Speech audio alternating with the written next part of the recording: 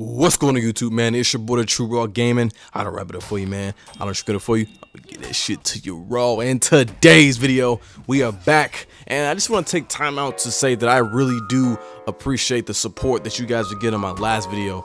Um, and not just my last video, on just about my entire channel, man. I really appreciate it. I, I see the day ones who's been here since day one. I appreciate you guys. Shout out to everybody who's been following me. And I just really wouldn't be here in this position if it wasn't for you guys. So I do appreciate all the support on the polls, the shorts, even my videos. So thank you. And with that being said, let's get into the video that we're talking about today. Because today we are doing something a little bit different. I'm doing my top three underrated picked heroes. I'm talking low pick rate heroes that you really don't see too much online. And these heroes are going to actually teach you the skills that you need to become a better overall player. That is a lot. Now, let me explain the reason for me making this video. The reason I'm making this video is because in making the uh, Piranha University, there are a lot of tips and, and, and, and things that I teach you that can be applied to multitude of characters across the board. But certain characters teach you and force you to learn these things harder. And in some of these skills that you have to learn, like it's not an option. You have to know how to do it. It has to be done very well to even see progression with that hero. And if you don't, it's not for you. And I think that is also a contributor of why certain people play certain heroes because they're a lot easier to play, which also contributes to why you see a lot of the same heroes. Hiroshi. uh, anyway, so here's my top three heroes, man. Like I said, the criteria is these guys are going to be teaching you certain things that are just going to make you a lot better overall player. Guys, if you guys enjoy this video and my content, make sure you drop a like, drop a sub, drop a comment down below, guys, what you guys want to see next. So Let's go to the first one. These are in no particular order, man. The first one, I gotta go with Raider, man. Raider, Raider, Raider, Raider, Raider. Raider has been a staple for I don't know how long now. He's not in the per se the top top of the top meta. He isn't the, the the dog and the beast that he used to be with his flash banging, blinding out of your screen. You wouldn't dare play this game in the dark because if this man landed a top light, your retinas would just fall out of your, your body. It just it's just what it was, man. Uh, he's no longer in those days. He's no longer in the days of his massively high damage heavies that were just completely across the board, way higher than anyone else's, and it was just ridiculous. So, um, also no more of the uh, the dodge guard breaks. I don't know who came up with that. That is that has to be the that has to be the most rage-inducing thing. Just just imagine like a dodge guard break it was instant and it would always catch you and no matter what kind of recovery you were getting caught well that's that's that's that's beside the point now i put raider on this list because um, he's going to teach you certain things and his certain things is you visually will be able to see clearly that you are doing the exact same thing over and over and over. And i put him first because that specific point that i had here this character will clearly show you visually and you will be able to see the repercussions of why you don't do the exact same mix-ups, the same cadence, the same timing, the the the, the everything. It has to be some kind of mix-ups for this character to even still work today. He doesn't have the high damage and just raw output that he used to have, that he used to be to get away with. You still have to have some kind of skill to behind this character now. So that one right there is a big one. You have to recognize that you are doing the exact same thing. Two, it's going to teach you how to condition your opponent. Now, this goes with the first tip that I said for Raider, um, but conditioning your opponent is you kind of have to do the same thing, but you have to have some kind of deviation in it, where you can do light into stun tap into light heavy. You can probably get away with that once or twice, but if you're doing light into stun tap light, that that light's getting paired. Cannot consistently throw that light even if you switch the side, you cannot consistently. That's three lights in a row. They're gonna just start, I don't know, taking chances at that point. So maybe if you do light into uh, top light uh, of the stun tap, and then you go into a zone, and then you go to a soft rate, soft rate into a, uh, a guard break, or you can do a heavy just to give the indicator, and then go into a soft rate guard break. But that is an example of what I mean by conditioning your opponent. You got to do some kind of uh, relative familiarness to get him to bite on something. And then it teaches you how to externally attack your opponents. Raider uh, used to be back in the day. Used to be a menace in the team fight, dude. Uh, once they gave him those switching sides, unblockables, it just he just shot up, dude. Yeah, you, you think the zone was coming on one side, it was only that one side. Nope, now it's coming on both sides. Now you have to be able to know how to deal with it because now when you're sitting here in these team fights and you lock onto that back guy and everyone in front of you is just worried about fighting and dodging around, you're just sweeping wide, sweeping heavies. You're gonna catch everybody. Everybody. Don't even dodge. Yep. I know. You you want to catch the shinobi. Yeah, that, that's how you do it. We we know. I know. I'm not gonna go too much because you're not gonna you're not gonna be sitting here talking shit about Shinobi. I ain't I ain't gonna tolerate. It. But anyway, that's that's that's Raider. Number two, I gotta go with Gladiator. Now I can't go all of them into the Vikings. I gotta go to Gladiator. Gladiator has very special and particular skills that you need to be a dominant person, even just be decent. Because I think with this character, he's one of those characters where um, either you're doing mix-ups you know what you're doing, or you're just like, it's just what it is. Um, so Gladiator, he's gonna teach you how to be patient. Um, with Gladiator, his particular combos and a lot of his damage uh, comes in bits and parts. It doesn't necessarily come in with one big uh, uh, over and over and over combo like, like for example, uh, who's one? Uh, we got Hito, Hitokiri. She can just kick, heavy, kick, heavy, and it's just a continuously chain you can do that, but the odds of that happening is just it's just not happening. I mean, we got too many dodges in the game, too many dodge bashes, too many dodge attacks now. Um, so you're gonna have to know how to you know chip your opponent away. This this kind of teaches you how to do that, how to control the pacing. You don't have the option to sit there and delete people in one combo.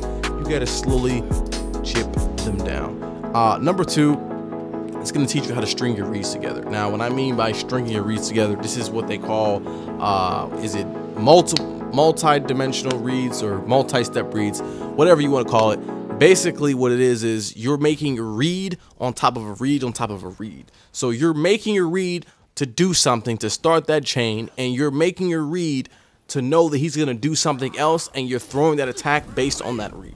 So you have to string multiple reads on top of each other. And what this character does is he gets you get your brain moving and get you thinking about what's going to potentially happen, especially because this character is not 100% safe when it comes to fours and team fights, which rolls into my last one. He's going to teach you how to be safer on offense. Uh, I think that is what I need to be talking to you guys about. Uh, a lot of guys take way too many risks unnecessarily on offense. Um, for example, with the stamina management, um, how many times have you seen a guy have almost no stamina? He's going for that unblockable, and and you're like, bro, you you literally let all your stamina go down, and now you're running the blockable. So now if you feint it, you're out of stam. But if you throw it, it's gonna get parried because you can't afford to feint it. So it's like you put yourself in that position, you know, to really put yourself in a lose-lose situation. So with Gladiator, he teaches you how to have a safer offense because it's forcing you to slow it down, be more patient, and string your reads together and actually think about what you're going to do instead of just throwing lights. Yes, you can probably just throw lights for your first rep or two. But after that, you, you're to get parried. you're to get parried really quickly, man. Uh, my last one, um, my personal opinion, I think this is the better one of the three. Uh, and I have to go with Valkyrie. Valkyrie is probably one of the characters you never see online, and there is for good reason. The character is no longer a busted machine that she was when she first got those changes to the 20 damage, the 20 damage light attack after a bash. And then if you missed the bash, you were still able to follow up chain with a switch side attack. Uh, so your offense really never stops.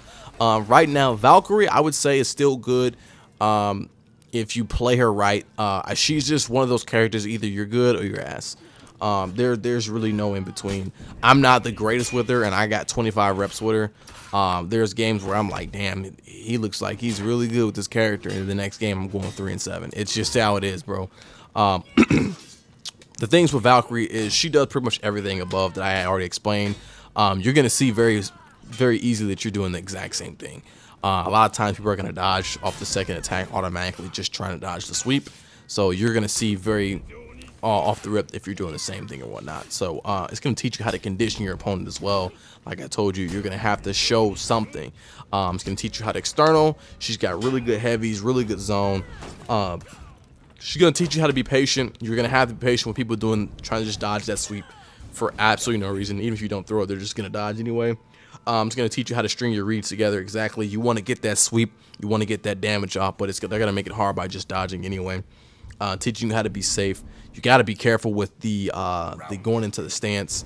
Um, if you just do it way too much, you're gonna get GB'd out of it, and every time you you make a wrong move going into the the, the stance, uh, getting GB'd is just not fun. It's it's not a good thing. So uh, another thing is she's gonna show you how to read this character is reads. If it was a physical manifestation of reads, this character is reads. It's gonna teach you how to read. Once again, for those who want to know how to read, you got to play this character. You, you can't um, you can't just not play the character. Um, the character is pretty difficult to play. I will say that you this is more of the harder side because it's gonna show if you know what you're doing or if you don't. It's just really no in between. Um, knowing how to read your opponent is you you got to know when you're able to go into that stance uh, when they're gonna just try to GB you out of it. Um, the zone is also a read, especially when you're going against people who have the um, the uh, crush encounters who just want to light out of your your indicators um, when you try to do your zone. So when you do that zone, you come up with that, that follow up. Are you going to feint to a parry? Are you going to go into stance? Maybe he's going to GB you out of it after that. Or is he going to crush and counter it through and you let it go? So there's a lot of different reads. You got to know his timing. You got to know if he's going to dodge. Does he have a dodge attack? Does he have a dodge bash? So this might be better. You got to really know a lot to actually be good with the character. You got to know a lot of different things about every character, and you have to know how to read your opponent and condition them properly in a short amount of time. So Valkyrie, I would say, is probably the best one of the three. Um, and then the last one, she can teach you how to peel really good. Um, uh, I didn't realize uh, a lot of people online don't know what peeling is, or they don't understand the concept of peeling. Um, because when you play MM, if you solo queue, uh, you you won't get anybody to help you get out of the situation. I mean, how many times have you been on the ground and the shamans is, is on top of you, just just all in your neck? I'm talking like Dracula's daughter from from you know just all in there. I'm I'm talking in there, giving you hickeys and everything, and and, and nobody nobody's turning around to to save you. They're just they're just like ah. Uh, I want to get this guy. He's one shot. This is my one kill. So, yeah, you know what I'm saying? Uh, we we've all been there. So that's what I mean by peeling, man. You got to know how to save people, get them out of the situations where you're just in a fucked up spot. So the character can show you that because she's got a lot of a lot of good range on her moves, especially for the side dodges too. You can get out of dodge with some of the some of the bullshit moves in the game.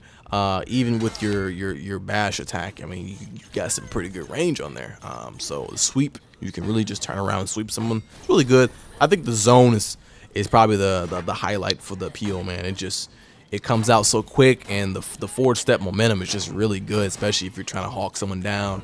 So uh, a lot of good options with the character. I think that one would be the best of the three to show you what you need to get them but you're gonna have to really work with that character. So hopefully this this was uh, helpful for you guys in any kind of way man. If you guys enjoy this content or any of my content make sure you drop a like drop a sub drop a comment down below on what you guys want to see next